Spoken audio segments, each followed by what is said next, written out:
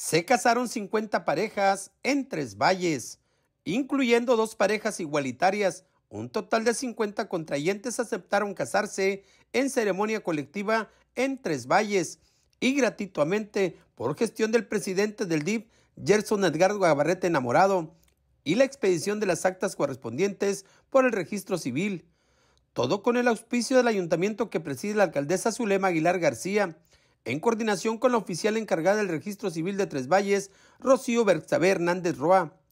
Mientras que uno de los ahora cónyuges de la pareja igualitaria, Julián Pérez Valor, agradeció a activistas, barras de abogados, legisladores, registro civil que supervisa el secretario de gobierno, maestro Eris Quineros Burgos, y al titular del Poder Ejecutivo de la entidad, Huitla García Jiménez, por lo aportado para lograr la legalidad que le permitió casarse por lo civil.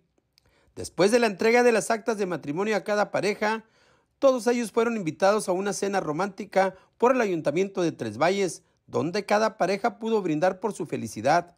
Para RTV Noticias, Alejandro Narváez.